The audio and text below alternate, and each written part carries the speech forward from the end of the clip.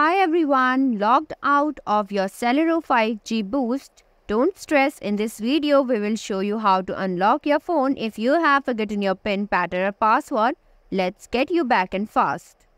If you have forgotten your PIN pattern or password on your Celero 5G Boost, you can unlock the phone by performing a hard reset.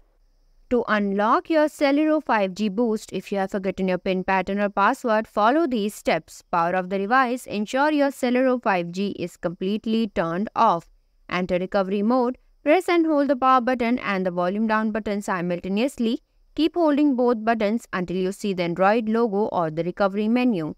Navigate the recovery menu. Use the volume buttons to navigate through the options. Highlight wipe data or factory reset using the volume down button.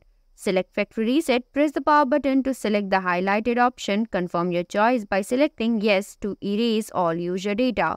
Reboot your device. Once the reset is complete, select Reboot System Now from the recovery menu. Your device will restart and be restored to factory settings. Thanks for watching. If you like the video, please hit the like button. If you want to see more videos, hit the subscribe button.